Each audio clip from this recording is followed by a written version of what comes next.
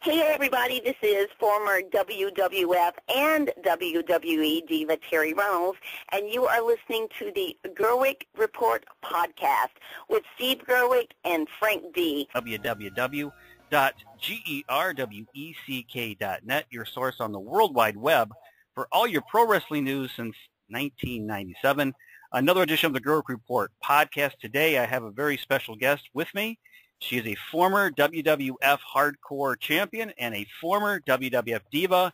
Today I present the very sultry Terri Runnels. How you doing today, Terri? I am great. How are you, Steve?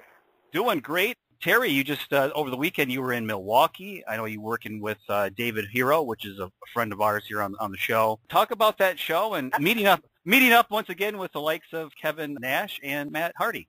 Well, first of all, let me just tell you, like right now, I'm sitting here outside, blue skies, gorgeous day in Florida, and it's completely the opposite of what I left yesterday, which was, believe it or not, even more enjoyable to me with the um, cool, crisp air of Milwaukee.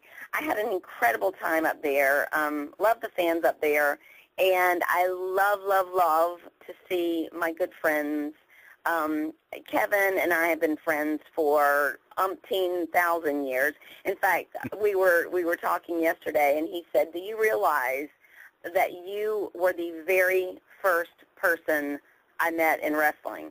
And and I'm like, "What?" He goes, "No, Tara, like really, you were the first person I ever met. Other than signing my contract and and doing that, you did my makeup. You were the first person I met." So wow. we go back as to the beginning of his career. So yeah.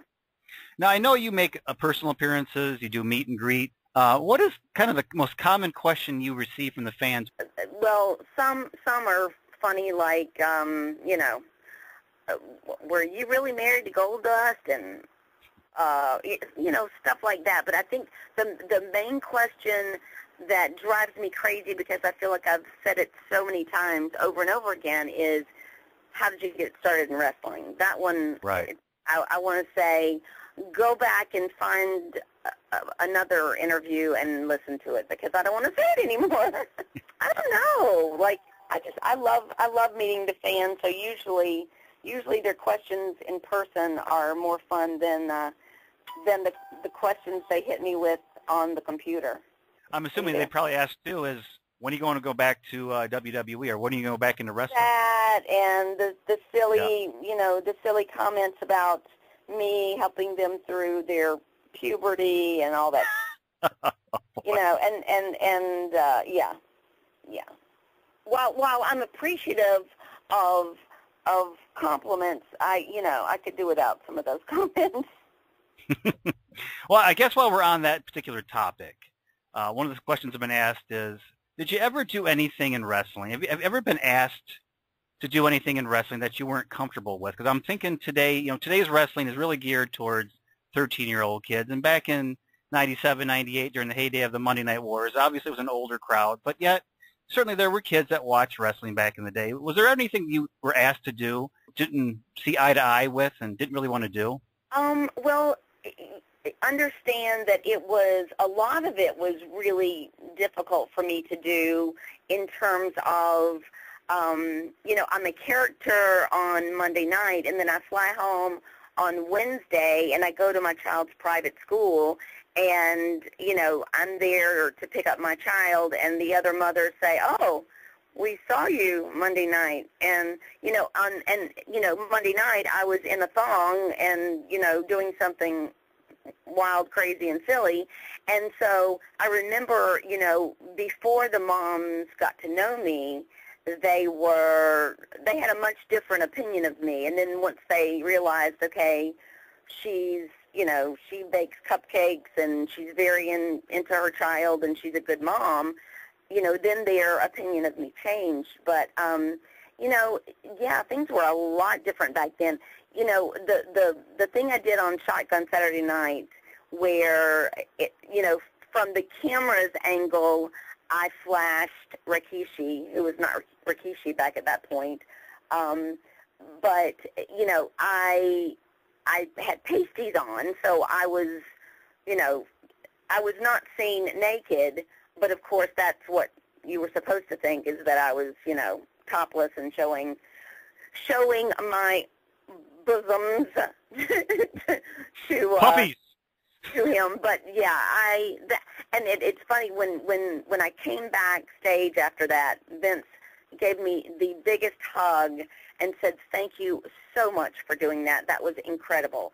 So you know, I I, I think the the thing that I was honestly the most uncomfortable with was an angle where, um, and it was a Russo angle where um, I was to do the whole miscarriage thing, and you know with with Val Venis and D'Lo Brown and all that stuff, and and Dakota was young at the time, and and I thought, you know, I just don't want her hearing at school, oh, your mom, you know, was going to have a baby and she lost it, and I just didn't. I I don't know. I thought that was tacky, and there was there was a lot of stuff there that was.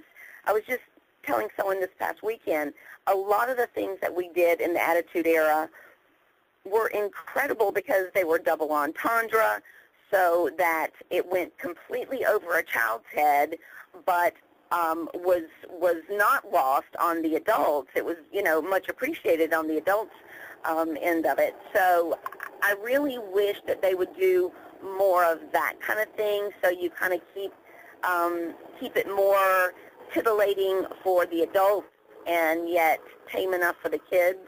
But, you know, when you have shareholders and you're a public company, it, it's a it's a cat of a different color. You were showing a lot of skin, uh, scantily clad women at that time. Just in general, how hard is it to stay in that great of shape? I mean, we saw a lot of you. We saw a lot of the divas back in the day. Uh, talk about training just how hard it is to eat and stay in shape when you're, you know, you're asked to, to go out there in a bikini or do a song or, or whatever it is to, to look so good on television week after week. Well, thank you for saying that I looked good. First of all, um, that was always uh, something that was, you know, it was this pervasive thought. You have to, you know, if I eat an Oreo, am I going to have, uh, you know, a circle show up on my on my butt or on my on my abs? Um, my thing was always I wanted to be as tiny as possible. Like I, you know, a lot of the girls want to train and become bigger and and more muscular and and my whole thing was I wanted to be as lean and tiny as possible. I thought it looked better when the guys, you know, picked me up by my neck and, you know, if, when I was thrown or when, like when Chyna shook me like a rag doll. Um, I liked being little. So my thing was always to just stay lean. Um, I have a gym at my home, a tanning bed at my home, so and and I really have never enjoyed training in public. So my thing was always, you know, I when I got home, I was mom first and foremost, and a lot of times I would end up, you know, I would be on the stairmaster at two o'clock in the morning, or you know, working out at three o'clock in the morning, or whatever. So I do remember that when I left in 2004, I decided I'm going to take a complete sabbatical. I will not lift a weight. I will not run. I will not do anything um, regarding, you know, working out for one year. So I gave myself permission for one year to do nothing. And then the sad part is one year turned to two, two to three, three to four, and jump ahead. And then it went to like nine years, and I had not trained or done anything. I ended up gaining on my five-foot frame, I think I, the heaviest I got was 127 pounds. And um, I've got a picture from an appearance I did up in New York um, that I just looked like a bloated, to me, I looked like a beach whale. But so after that, I decided, okay, enough is enough. And I just, you know, I cut out, I used to love my wine. I cut out all that and I really got serious about it. And what's crazy is I went from 127 and I got all the way down to 91 pounds, which it, it oh was like, you know, once the ball got rolling, it ended up rolling too far. And so I remember Dakota saying to me, Mom, you look like a bobblehead. And, and my sister said, tear, you look like you have worms. Like you oh, you Jeez. you don't look good, and I really didn't. I looked horrible. So then I started trying to put the weight back on, and it's crazy, but it for a while it was like nothing would stick. Like no matter what I ate, I couldn't gain the weight back, which then I started worrying like it- you know, gosh, is something really wrong with me? But now I'm I'm at my comfortable weight of anywhere between 98 pounds and 105 pounds. I'm I'm comfortable. So I'm at a healthy weight now. I can relate to that. But let's take six months off. Let's take a year off. Let's take 18 months off, and then just goes and goes. the, the domino effect. Yeah. maybe It- maybe next month, huh? Yeah, it gets a little too easy to be lazy, I tell you. Now you you were just mentioning uh, Rikishi. You know when you're talking about the shotgun Saturday Night Angle. Uh, I believe he was, he was probably what the Sultan at that Yeah, he time. was a sultan, yes. Right, right. And last night they announced that Rikishi is going to go in the WWF Hall of Fame, WWE Hall of Fame to be technical. Uh, Right. thoughts on Rik- Rikishi being announced for the Hall of Fame? Well, to me, he's Junior. He always has been. You know, he, I've known Junior since, geez, 1980, maybe as far as eight, seven, eighty-eight, somewhere back in there. But he's one of those people that it, it's funny. Um, back in the day when when you're traveling with people, um, when someone would be let go, and you didn't really realize it, and then all of a sudden you'd be like, oh wow, you know, so and so's not here anymore. Um, but it, it was crazy how it would take you time before you even realized someone was gone. Junior is one of those people that I always missed if he was gone. I've loved from the beginning. He's always been one of my favorites, and I'm I'm really happy to see him inducted.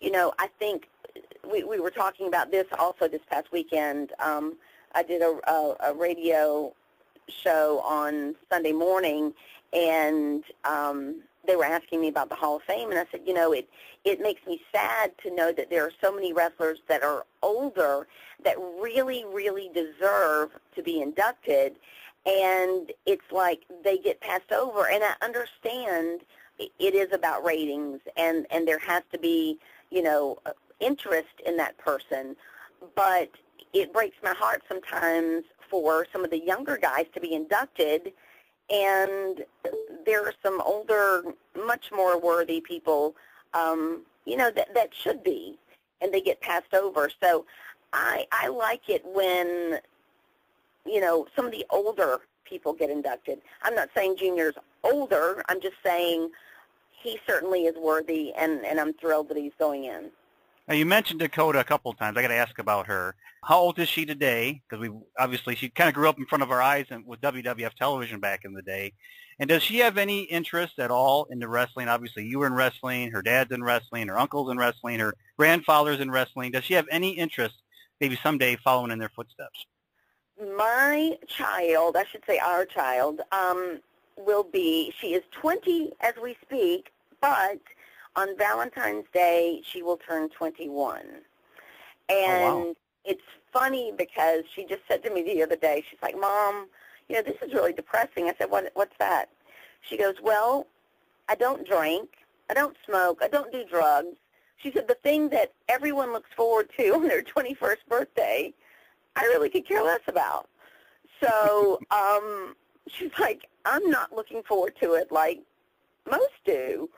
And I'm like, okay, we've got to find some things that you couldn't do before that you can do now. She's like, okay, I can rent a car now. Um, I can gamble. I can go to a casino now. so we're, we're trying to come up with um, something fun that we can do for her 21st. Um, I know her boyfriend is flying in, and so I'm, I'm sure we'll, we'll conjure up some fun. But yeah, she she'll be 21 soon.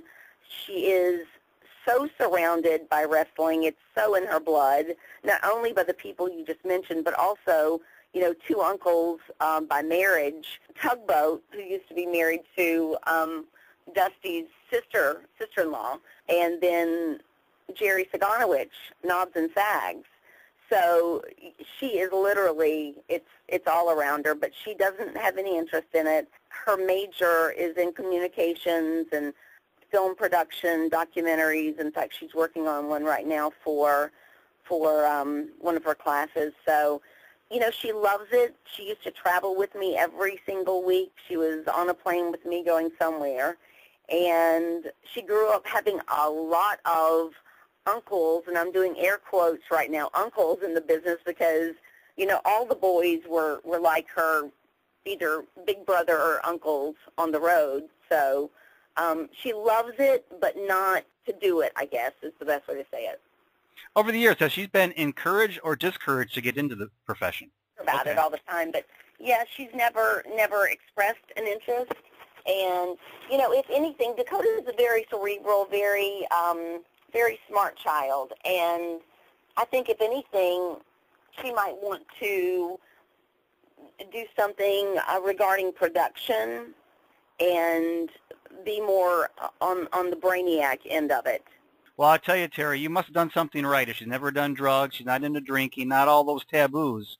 I'd say you have done pretty well raising her as a mom. Well, I, I thank you. That's that is, if, if you ask me, the best thing I've ever done in my life is is being her mom, and um, I think she's also learned from the mistakes of her parents, which is great.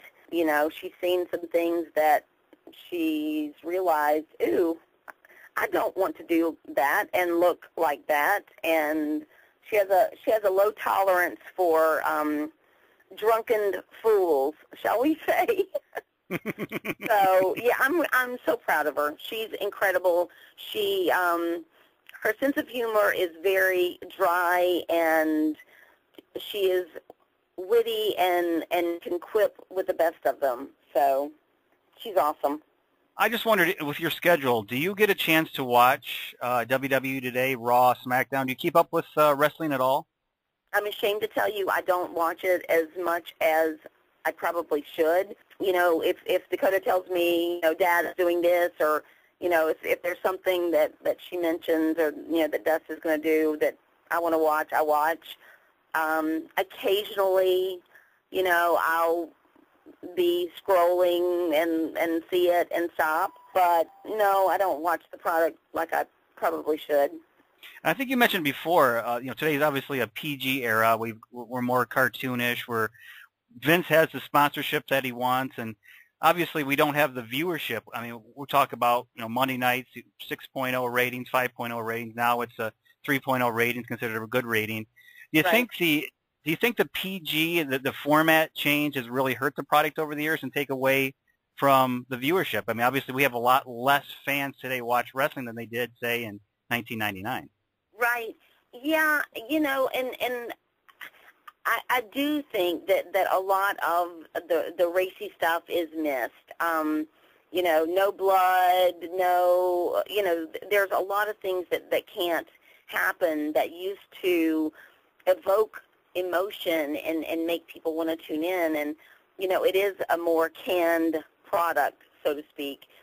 I I I can do without, and I never like I thought we went past the point of of of um, being racy when we did like like the whole Godfather hot lesbian action, the HLA, when when Kane, um, the whole necrophilia thing with Kane and Katie Vick. Know, yep. Yeah, yeah. I really thought that that was totally unnecessary. Like the the kind of thing where a lot of a lot of the things that Dustin said and did, you know, were double entendres. Where um, you know, he would say something like, you know, I'm going to, you know, come in your back door. And, you know, a kid doesn't understand what that means, but every adult understands what, you know, that connotation was. And, and I, I really, I wish they would go back to a little bit of that that they could get away with, um, but not so much the, the, um, the visual where, like, I remember Dakota saying to me, Mom, why are those two girls kissing? And, you know, it's like, how do you, you know, that stuff that you have to explain. You can't get that over a kid's head. So I wish they'd be a little bit more creative and and um, like even even as, as like even the costuming.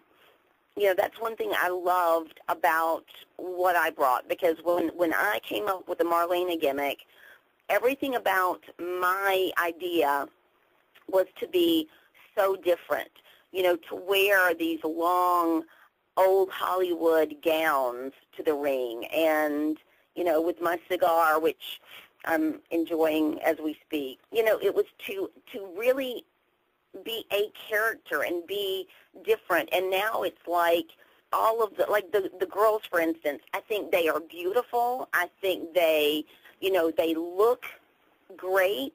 But it's like everyone's costuming is kind of like it looks good, but it, I, I don't know. It's like there there there are not enough characters. Like like the the um who was it Bray? Bray Wyatt and uh, yeah. yeah, Bo Dallas. Yeah, and and and yeah, Bo and Dallas, and and so like I love that that you know you've got some people that look different, and I love our seamstresses, and they do a great job, but sometimes I think we rely too much on them to create the outfits so that it ends up looking a lot alike. I don't know. Yeah, I, I definitely agree with that. Now, I, I know you were talking about you don't really watch wrestling other than maybe what uh, you know Dakota tells you about, but it looks like right now that Stardust and Goldust are probably on a collision course to you know possibly have a have the match that we've been talking about for a long time. People wanted you know Goldust versus Cody Rhodes back in the day. We maybe we'll finally get it. I just thought with the new gimmick of Stardust, wouldn't it be interesting if Marlena came back and would actually side with Stardust in his feud against Goldust? you know, there's a lot of things that would be interesting if Marlena jumped in the picture. That's been talked about a lot, and I don't know if that's going to happen. I really, you know, it's it's it's funny. I'm not a fan of of Cody's character at all. I mean, I I I, I think that what what Dustin did in creating Goldust was incredible, and I will always be proud of him for the way he took that character and and ran with it and made it incredible. Um, and I don't know. I've just I've not been able to sink my teeth into the whole Stardust thing. I love Cody. I think he he's a great wrestler. But speaking of that, you just you just never know what you're going to see when you tune in. So I'll leave it at that. I guess would you be open to maybe going back on the road with WWE? How, how is your relationship currently with, with the company? Um, great. I just I went over and, and did a few hours of recording some some stuff for them not too long ago. And you know, I mean, there'll always be family. I you know, even though things have changed so much and and there's just there's a completely different feel about everything. Um, that will always be family to me. So there's love there because um, I was just watching, like I haven't talked to um, Lisa Moretti Ivory in, in ages, and like I would love to get in touch with her. I don't have her number. I haven't talked to her in ages. I miss her, but I stumbled upon a shoot interview that she had done, and she was talking about how um, what what a pain it was that everyone had to uh, dress up um, you know, the edict with WWE was you had to be in dress clothes when you were out in public representing the company. And I laugh because I never, like that's the way I went to TVs. That's the way from the time I left my hometown to go to TVs, to any time I was on an airplane, any time I was anywhere. You never saw me in sweats. You never saw me scrubby. I was always dressed. And, you know, it was funny when people started complaining about, God, we have to dress up just to fly. I'm thinking, well, hell, that's the way I've done it the entire time.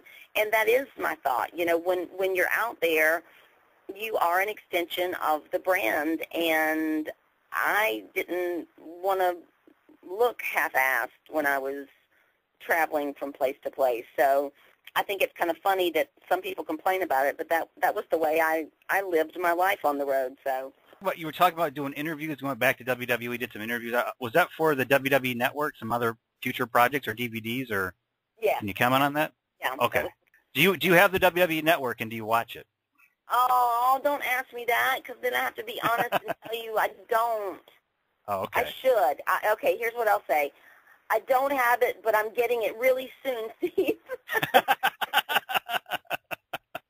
really soon. You know- I'm going to get it. For somebody like you, I mean, like deja vu. I mean, everything that you've pretty much done is, is probably on there now. Yeah, to- and to large you know I think it's really cool when fans will say, "Oh, I just watched this match or this pay-per-view," and man, I really missed that, or that was really cool, or whatever. I mean, I think it's great for the fans. I really do, and I think I think the price of what you're getting, I, I think it's a wonderful price. What is it like nine ninety nine or something? Yep. And Yep, and, and with that, don't you get the pay-per-views and and is that correct? That's correct. Yes. Yeah, I mean, I Pay-per-views are yep included. Yep. you would almost be a fool if you were a fan, um, if you've ever been a fan. And that goes back to WCW. I mean, if you're a fan of wrestling at all, you'd almost be a fool not to, you know, have that. So I think it's a great, a great idea, and I hope it, it, it succeeds and does well. Over the years, have you ever been contacted about doing uh, Playboy? Because obviously Playboy did what Torrie Wilson in Chyna back in the day. I just wondered if they ever contacted you for uh, a possible shoot. Way back when, yes, and the answer was no because of my child. Okay.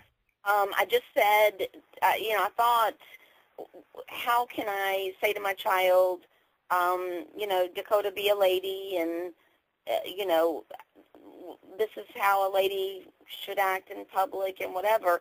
I mean, yeah, there were a lot of things that that were sexual that I did with my character on TV, but pretty much Playboy, you're not in character. You are you know, I would have been just Terri Runnels. And for me to sit there with my legs spread wide open and for my child to have to, um, you know, go, hey, Mom, so what was that you were telling me about being a lady? And so here you sit with, I can see everything and then some. Yeah, that was just not for me. Okay. Fair enough. Uh, Vince Russo may be probably one of the most polarizing characters in professional wrestling. People love a lot of the things that he wrote. Some people are very negative on, on Vince Russo. What's your overall opinion of him? I, you know, I'll I'll tell you this. I I was one of the ones. Dustin and I were were were some of the people that knew that Vince was writing and booking a lot of the of the um, angles long before it was truly known that he was one of the writers.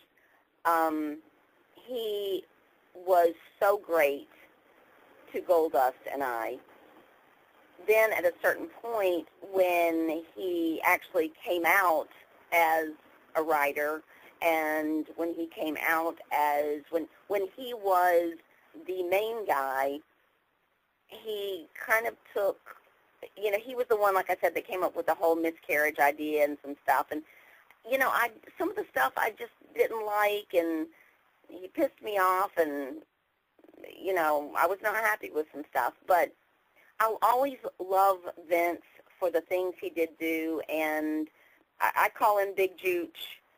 He'll always be my Big Jooch. So, you know, I think when he went down to WCW, I think he got a little full of himself and needed to be brought back to life, and I think he he did. He humbled himself, and I like I like that Vince. I like the Vince that you know was in the beginning of my Marlena career the Vince that was not necessarily ego-driven. That that's the Vince that I love. You've been uh, pretty much away from wrestling on a regular basis uh, since like 2004, when you said you you went home and you gave yourself a year off, and then you know year after year kind of went by. I, I just wonder o- over the over the years, have you ever been contacted by like TNA to maybe work for you know another wrestling group? Never to work for any other wrestling group, and I've said I've said no to any time I've been asked to wrestle. It's just I'll never do it again. I'll never. I'll I'll you know some of these things I'll I'll manage. I don't mind taking bumps. You know I I I meant that I was going to get color. Um, I I pretty much the, the the Brian Pillman angle, and I know this is off of the topic, uh, the question you just asked me, but it just made me think of something. When we were going to do the whole Pillman angle, I wanted to get color when when we did that, like when when Brian, when Dustin and I were going to renew our vows, and and actually, my image was and the way we were going to do it. Um, I was going to be in my gold wedding dress, you know, and we were going to get to the part where it said, you know, is there anyone here who sees any reason for these two not to be joined? And you know, Pillman was going to come out, and he and Dustin were going to go at it. And then instead of me continuing on and, and being with Dustin, I was going to throw my body on top of Brian, who would have gotten color at that point, and there would have been blood all over my wedding dress, and I was going to go with Brian, and that's how we were going to do that angle. And of course, the sad news came that Brian passed away, and so we we switched, and um, we did the the angle with Luna, which I had just done. Um, I, in fact, it was the first time I'd ever met her um, doing a, a little side third party thing for AFA up in Pennsylvania. And I came back and I said, Vince, this would be so awesome if we turned it around and if Dustin went with Luna. And so that's how we did that angle. But, you know, that that's one thing that that I did that I I love that I did. I love that you know I it was for a, a match. I don't even remember where we were, but I was working with Danny Demento, the cold-hearted player, Danny Demento, and um, so yeah, he gigged me, and I had a blast. I had a blast doing it because I'm like, how many women get color in the business, and you know, there are just things you can't do anymore. So that was fun for me and um, but I'll never I'll never wrestle again. So just, yeah. it was just like Vince th- threw it at me one day. Like I mean, I've been taking bumps for you know a while from the boys, which I love. It's great. I love that. But then he just has this happy idea that I'm going to wrestle, and I mean, I begged him, please, please, please. I'm not. I, I don't want to. I'm not good at it. I, and and his answer was always, "You're going to be great." No, Terri, you're going to be great. It's going to be great. It's going to be fine. And I kid you not, like every time the man wanted me to wrestle, I went and said the same thing. I remember one time saying to him, Vince, when people love something, when they're really passionate about something, they do a much better job at it. And I'm really passionate about managing, and I'm really not passionate about actually wrestling another female. I don't want to. Oh, you'll be great. So, yeah. I mean, I, I did the best I could. God bless every female that ever had to work with me that was, in fact, a trained wrestler. Um, you know, I would go out there and, and for that day, I would learn, you know, three, four, five moves and pull it off somehow that evening and you know and then the next time he would want me to wrestle it would be okay well here learn another move to add to those three that you just learned. And but yeah. And in fact it, it's interesting because like i have real issues with my lower back now. And you know i have to get injections in my facet joints and it's just it's a it's it's constant pain. And i think the reason that my injuries have have carried over this far in my life and that that they are chronic is because when you're not doing this stuff day in and day out on a regular basis, your body does not handle the bumps the same way. It's just like, you know, the boys will tell you when when they've been off for an injury or, you know, and they've got ring rust, um, it's so much easier to, to get injured. And I think that's why I wrestled so few matches compared to most people, but yet I've got, uh, you know, a worse injury to my lower back uh, than than I probably would have had I wrestled all the time. So I will I will always give praise and kudos to uh, my my sisters and my brethren who trained and want to be wrestlers. You know, you were talking there that your your passion was managing. And, yeah. you know, ob- obviously I grew up watching wrestling when there were great wrestling managers. There was Bobby the Brain Heenan and Jimmy Hart, Jim Cornette, et cetera, et cetera. And then there was a, there was a period where my favorite. Paul yeah. Bearer.